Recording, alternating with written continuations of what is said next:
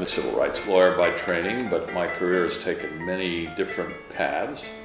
Uh, I've also taught at universities, and I've been in the government, I've been an ambassador, I've been a human rights investigator in the field, and I've been a, a negotiator in major diplomatic events, and then ending up with all roads pointing to Budapest and being the president of CEU, which really brings together all of the various parts of my career.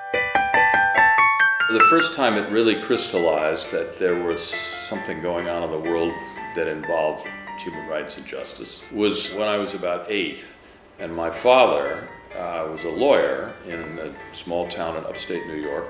And one day there were banner headlines that said, Esther Decker is a communist. She was the person running for the school board.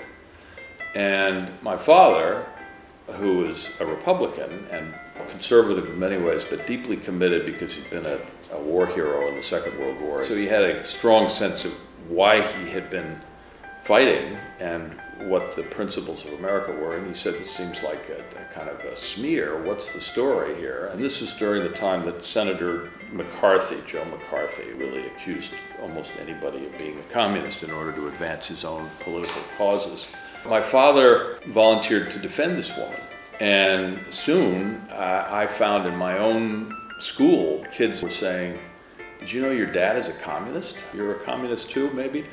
So I asked him, I said, what, what is this all about? He told me about fairness and, and justice, and he said, I'm not a communist and I don't agree with anything that the communists are trying to do, but, but I also think that it's really unfair to accuse someone of being a communist when there's no evidence that she is or was or ever had any involvement.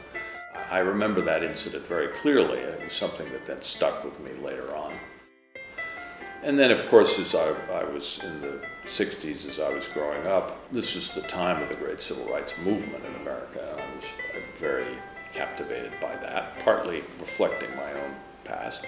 And then there was a huge controversy around the Vietnam War and a lot of demonstrations, and I became very interested in the defense of people who were exercising their freedom of speech in challenging actions that were being taken by their own government.